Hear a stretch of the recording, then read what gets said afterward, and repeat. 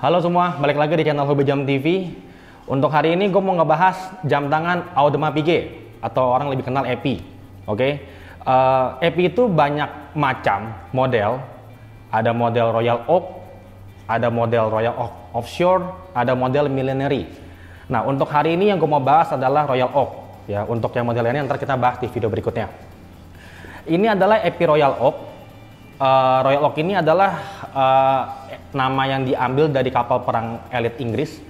Dan ini tuh jam tangan yang pertama kali diperkenalkan di Baselworld di tahun 1972. Uh, Baselworld itu adalah pameran jam tangan terbesar di dunia di Swiss. Ini uh, jam tangan yang pada saat itu jam tangan sporty pertama di dunia. Oke, jadi sebelumnya tuh merek-merek jam tangan tidak ada yang seperti ini modelnya. Oke, jadi EPI itu memanggil Gerald Genta untuk mendesain EPI seperti ini, jam tangan seperti ini, dengan ciri khasnya adalah uh, bezelnya segi 8, oktagon, oke, okay? dan size-nya pun 39 mm pada saat itu, yang di mana kita tahu pada saat itu jam tangan semua size-nya adalah rata-rata 32 sampai 36 mm. Jadi EPI itu sangat berani untuk bikin size seperti ini, oke, okay? dan yang bikin ini uh, jam tangan ini makin terkenal adalah di mana rantainya atau linknya yang sangat ikonik sekali. Oke, okay? Uh, yang di mana tuh rumornya pada saat itu uh, dibikin seperti logam mulia, padahal ini adalah ber berbahan stainless steel.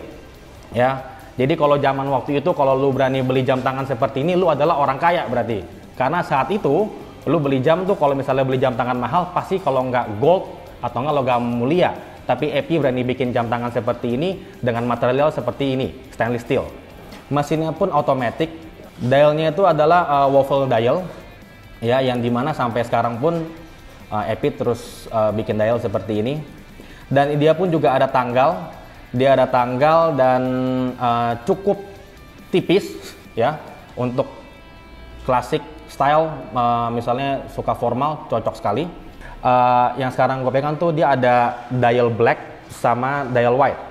Dia banyak pilihan warna sih. Dia ada pilihan grey, ada warna blue, ya. Cuman yang sekarang yang gue punya ya warna hitam sama sama warna putih gitu loh. Uh, menurut gue ini warna yang sangat netral sih, ya. Ini mah karena tuh dia untuk dari body dia nggak gitu jauh beda, semuanya sama, cuman ya tinggal balik ke kaliannya uh, ke kaliannya masing-masing suka ya warna hitam atau warna putih gitu loh. Tapi ini jam tangan adalah jam tangan yang sangat amat melegenda di EPI. Karena yang desain ya Gerald Genta, Gerald itu yang desain uh, yang desain Patek Philippe, yang desain Bul uh, Bulgari Octo. Ya dia justru karena dia habis desain inilah dia menjadi legenda sekarang di dunia jam tangan. Cielah.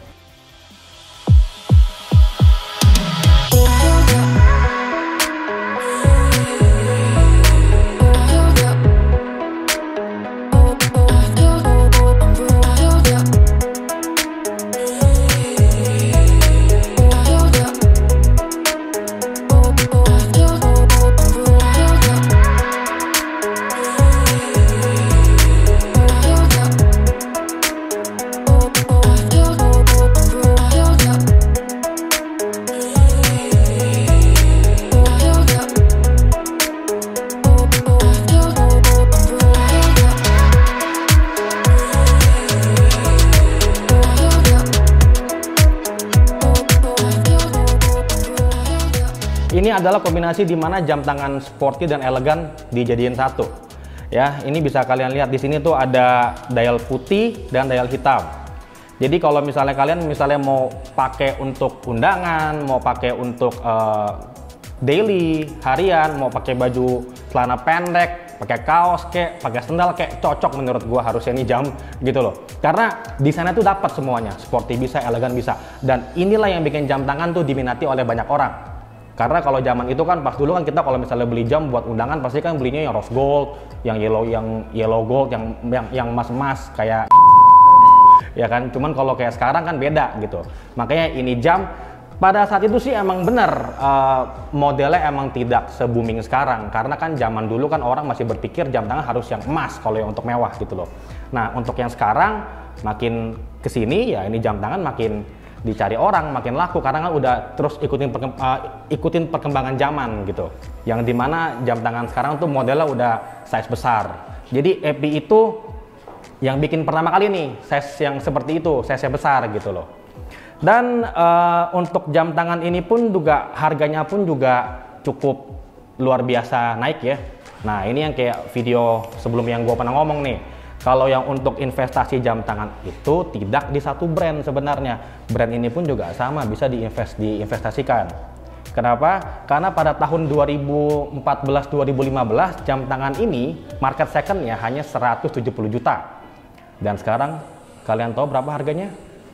440 juta, 450 juta gitu loh. Nah, kenapa ini barang bisa harganya naik banget ya? Bisa harganya kayak melesat tinggi banget karena EPI 15400 ini tidak ada lagi barunya sekarang. Even kalau misalnya sebelumnya, sebelum dia sudah tidak produksi lagi, Anda kalau misalnya ke mana pun cari barunya tuh udah nggak ada gitu loh sekarang loh. Jadi supply demand di mana tuh demand lebih tinggi daripada supply-nya.